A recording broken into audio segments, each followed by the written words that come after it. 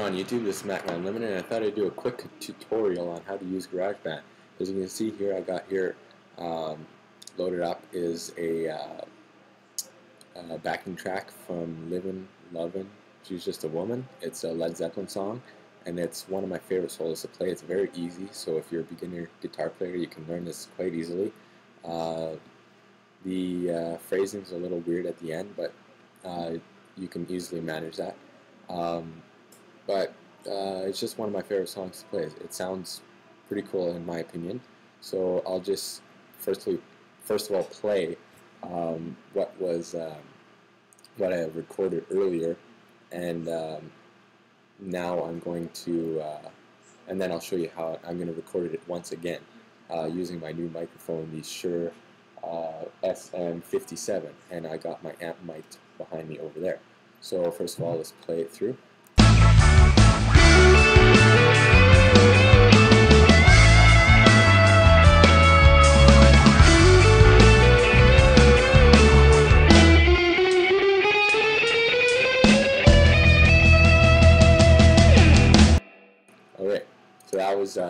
Recorded pretty quickly before this uh, before I made this video. It was only one take, and you can see here what I like to do is I like to split split the backing track right above the uh, point where I want to record, and then I'll start a couple seconds earlier.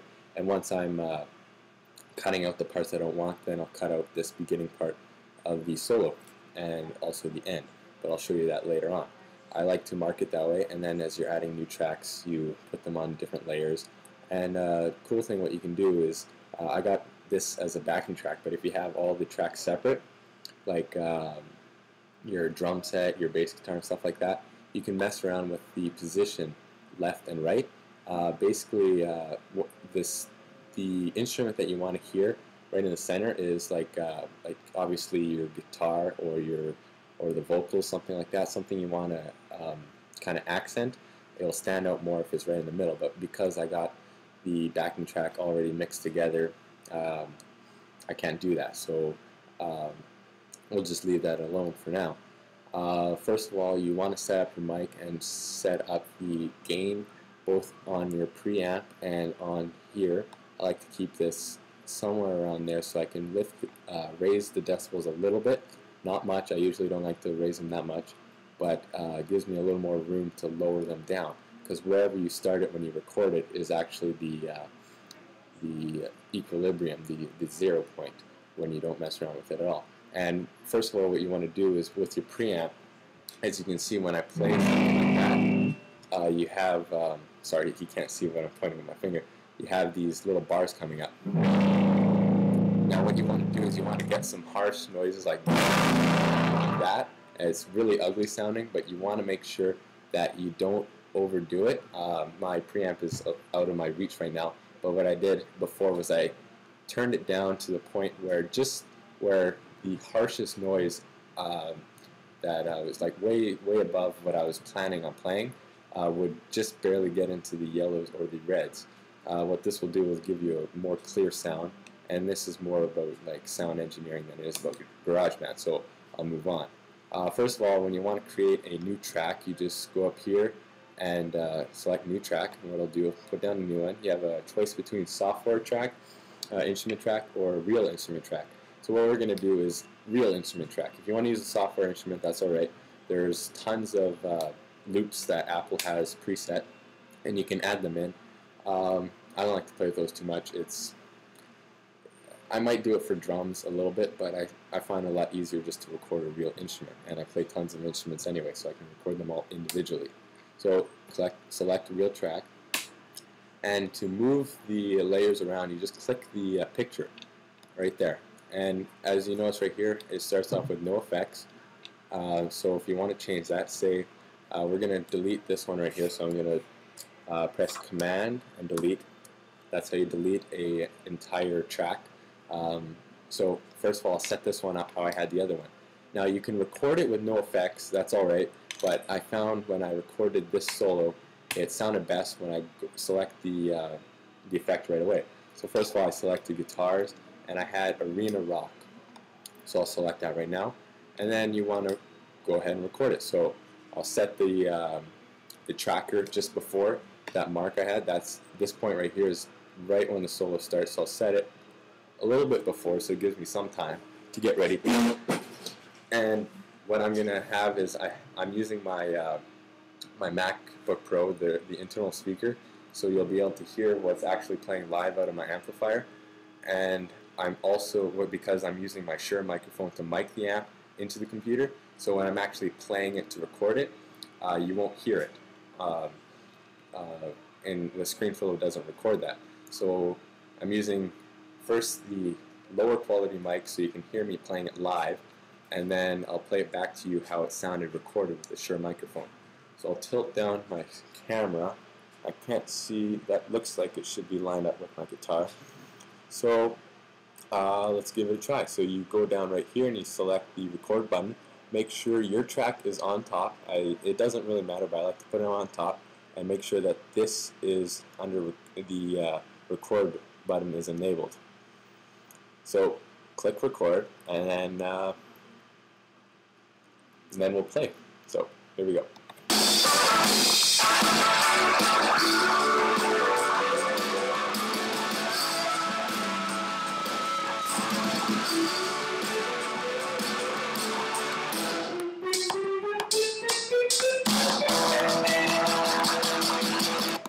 And then I just press the spacebar to stop it quickly. That's just the shortcut that I like to use.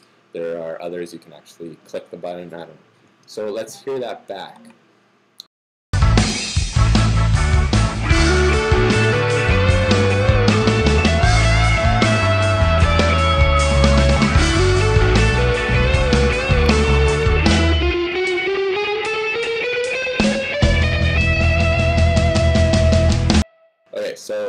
Taken another take if I was actually trying to record a song, but uh, just for this tutorial, I'll leave it as it is, and I'll show you some how you can change the effects of the uh, sound after you've recorded it quite easily. Uh, you can do it both while it's playing and also uh, before you play a song. So uh, I'll just select a couple of these as I play this a couple of times over, and you can hear the different sounds. So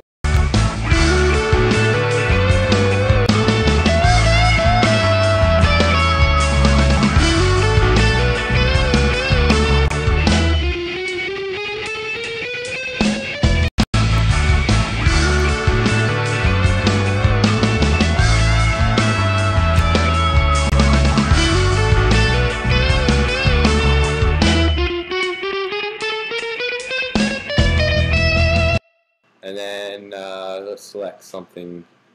Scorching solo, see how that sounds. It may be a little intense with the overdrive, but let's hear it anyways.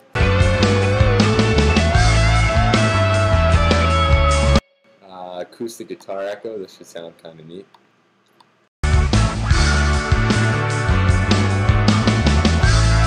See, that one kind of uh, eliminated the sound because of the waves. They actually canceled each other out. That happens occasionally. Um, uh, let's go to Ultra Clean. This may sound a little strange because of the way I recorded it, but let's hear it anyway.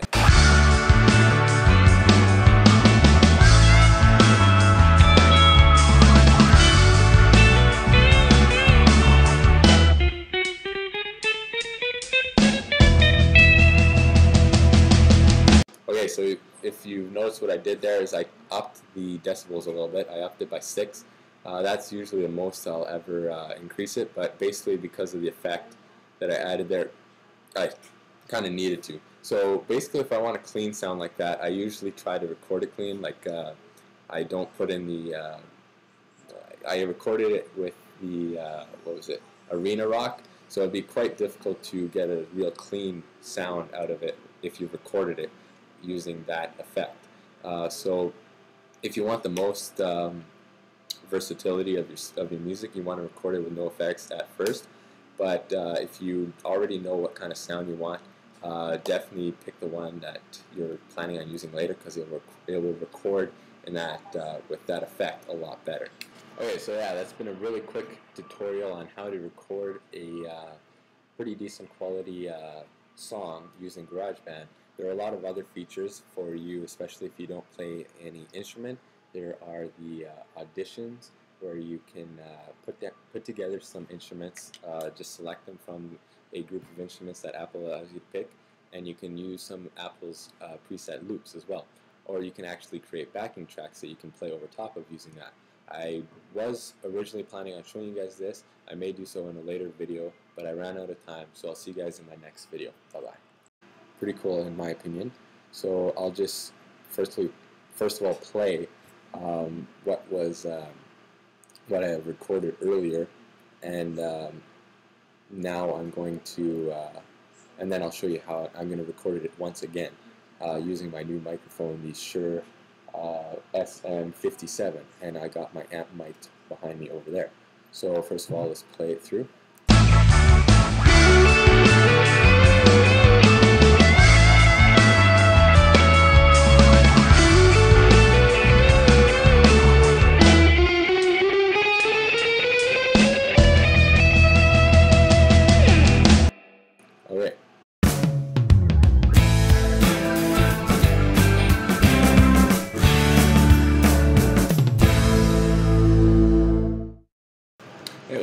YouTube? This is Mac Unlimited, and I thought I'd do a quick tutorial on how to use GarageBand.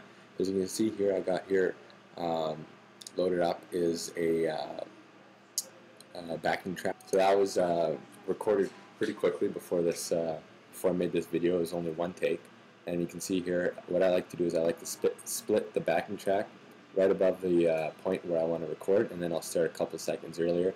And once I'm cutting out the parts I don't want, then I'll cut out this beginning part of the solo and also the end. But back from Livin' Lovin', She's Just a Woman. It's a Led Zeppelin song, and it's one of my favorite solos to play. It's very easy, so if you're a beginner guitar player, you can learn this quite easily. Uh, the uh, phrasing is a little weird at the end, but uh, you can easily manage that. Um, but uh, it's just one of my favorite songs to play. It sounds